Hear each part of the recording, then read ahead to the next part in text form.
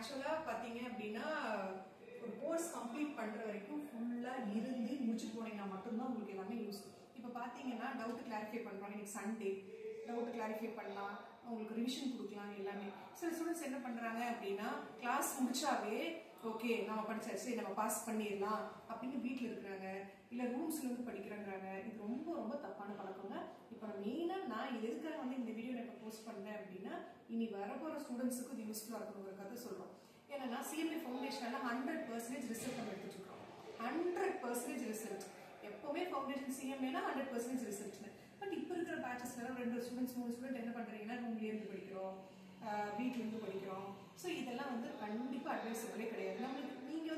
பசங்க. உங்களுக்கு எல்லாமே தெரியும் நம்ம சொல்லவே முடியாது. இல்லையா தங்கம்?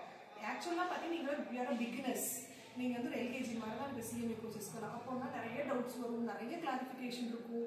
அப்போ என்னன்னா கடைசி எக்ஸாம் முடிக்கிற வரைக்கும் நீங்கள் எங்கள் கூட இருக்கணும். முடிச்சுட்டு போனா தான் அட்வைசபிள் இல்லைன்னா எங்களுக்கு ஒரு சாட்டிஸ்ஃபேக்ஷன் இருக்காது இல்லையா? எல்லாரும் இருக்கணும். எல்லாரும் கடைசி வரைக்கும் இருந்து அந்த பேட்ச் முடிச்சு எக்ஸாமுக்கு போனால் தான் நம்மளுக்கும் நல்லா இருக்கும். அப்போ நீங்கள் பாதியிலேயே போயிட்டு வீட்டிலேருந்து படிக்கிறோம் ரூம்லேருந்து படிக்கிறோம் அப்படிங்கும்போது எங்களோட கம்மியாகும் ரிசல்ட்டும் கம்மியாகும் ஆப்வியஸ்லி உங்களோட பர்பஸும் சால்வ் ஆகாது.